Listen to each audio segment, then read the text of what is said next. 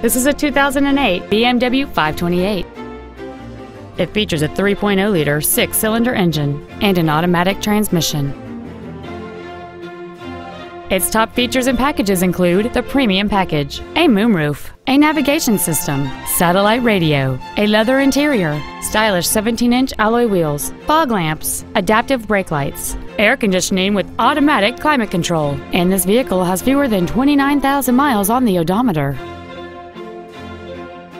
With an EPA estimated rating of 27 miles per gallon on the highway, this vehicle helps leave money in your pocket where you want it.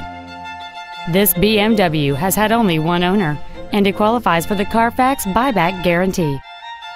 Contact us today to schedule your opportunity to see this automobile in person.